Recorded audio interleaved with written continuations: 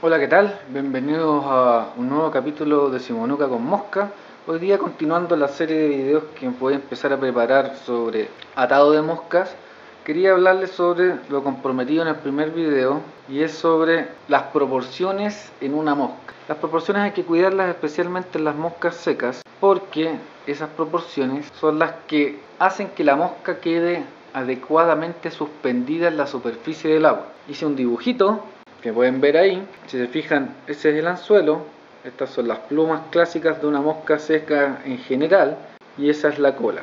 Lo de aquí abajo es la superficie del agua. Por lo tanto, si estas proporciones no se mantienen adecuadamente, lo que sucede es que el anzuelo o la mosca queda mal suspendida. Usualmente si la proporción de la cola es muy pequeña, esto queda demasiado sumergido en el agua y estos pelos quedan casi como un, helicóptero. Si está fuera de la superficie del agua, se puede producir ese efecto que no es natural para un insecto que queremos imitar usualmente. Digo usualmente porque esto puede pasar, pero usualmente lo que queremos hacer es representar cómo un objeto se posa, en este caso particular una mosca seca, se posa en el agua. Ahora, antes de entrar a las proporciones, revisemos cómo se conforman los nombres de un anzuelo.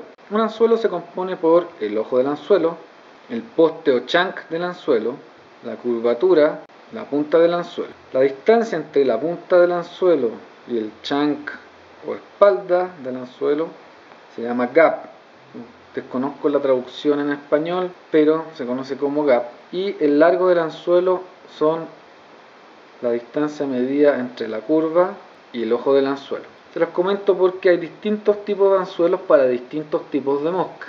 Usualmente las streamers o moscas que se pescan debajo del agua, el largo del chunk es dos veces la distancia que hay entre la punta del anzuelo y el chunk. ¿Por qué? Porque usualmente bajo el agua imitamos otros peces y los peces tienen una proporción más alargada con respecto a otros insectos. También hay anzuelos que son con un alambre o acero más grueso para moscas como ninfas que van bajo la superficie del agua para las cuales se requiere una cierta cantidad de peso para que se sumerjan y para las moscas secas usualmente la proporción del largo del anzuelo es una vez y media del gap.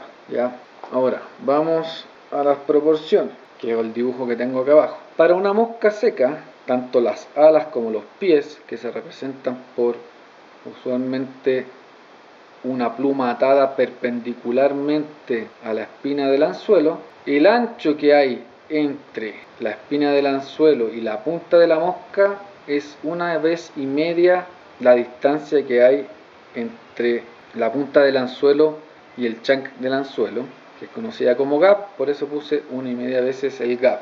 Y la cola usualmente también es una vez el gap, o sea, esta distancia de acá es la distancia que tiene que ver aquí, o dependiendo del patrón, una vez y media. Pero esas son las proporciones. Ahora, cuando se ata tanto la pluma como los pies de la mosca seca, lo ideal es que quede casi rectangular. Esto es una correcta atado de la pluma y este es un incorrecto atado de la pluma. Espero que estos tips les hayan ayudado, como digo, estoy hablando bastante en general, pero estas proporciones les van a ayudar a ustedes a imitar los insectos que ven en el agua. Lo choro o lo simpático de la pesca con mosca, especialmente el atado de moscas, es que uno puede imitar los insectos que ve en el ambiente en el que estoy pescando y con un anzuelo como este generar la imitación de un insecto que hace que la trucha lo confunda con su alimento natural, vaya a comérselo y con eso